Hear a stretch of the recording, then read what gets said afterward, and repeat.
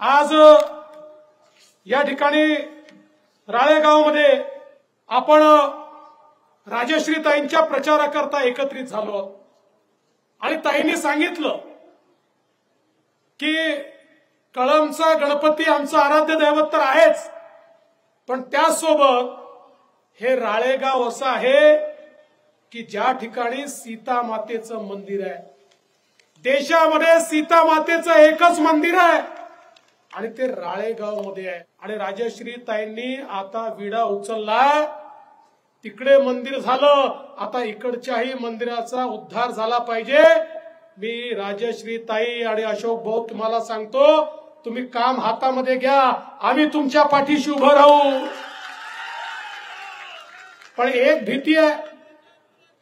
तुम्ही ज्यावेळी सीता मातेच्या मंदिराचा जीर्णोद्धार करायचा विचार कराल त्यावेळी पवार साहेब विचारू शकतात फक्त सीता माताच का? इथे राम कुठे गेले? कारण त्यांनी विचारलं म्हणाले अयोध्येच्या मंदिरामध्ये प्रभू श्रीरामच का? त्या ठिकाणी सीता माता का नाही? आता पवार साहेबांचा मंदिरांचा काही फार संबंध नाही आहे त्यामुळे त्यांना माहिती नाही. की ते मंदिर रामललाचं म्हणजे बालरामाचं मंदिर आहे. आता बालरामासोबत सीता माता कशा असतील? म्हणजे एखाद्या फोटोग्राफरनी मला माझ्या लहानपणचा फोटो आणून दिला तर मी म्हणायचो अरे माझी बायको नाराज होईल ती माझ्यासोबत फोटोत का नाही? पण बंधू भगिनींनो यांची नीती अशीच आहे. एकीकडे बघा हे जे इंडिया आघाडीचे लोक आहेत महाविकास आघाडीचे लोक आहेत. ते बारामतीमध्ये सुनेला बाहेरचं म्हणतात आणि यवतमाळमध्ये पोरीला बाहेरचं म्हणतात.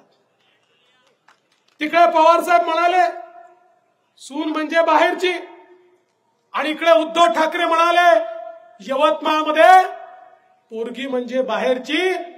पोरीला कसं या ठिकाणी दिलं? एक गोष्ट तुम्हाला सांगू इच्छितो आपल्याला कल्पना आहे जुन्या काळामध्ये बैलगाड्या असायच्या. आणि पोरगी माहेरून सासरी बैलगाडीवर जायची. जेव्हा सासरी जायची ना तेव्हा उलटी बसायची. म्हणजे सगळी नजर माहेरी असायची. आणि जेव्हा परत यायची त्यावेळी बैलाकडे तोंड करून बसायची. म्हणजे परत सगळी नजर माहेराकडे असायची. अशी आमची राजश्री ताई आहे.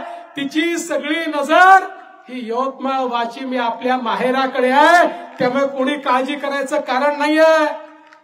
अरे इथे तर आम्ही जम्मू काश्मीरहून आलेल्यांना निवडून दिलं. इथं आपल्या घरची पोरगी आहे. तिला निवडून देणार की नाही?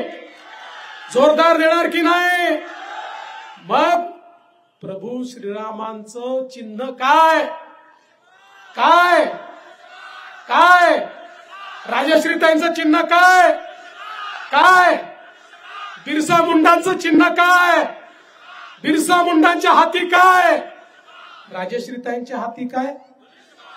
मग धनुष्य बाणाची बटन दाबायची आणि राजश्री ताईंना निवडून आणायचं.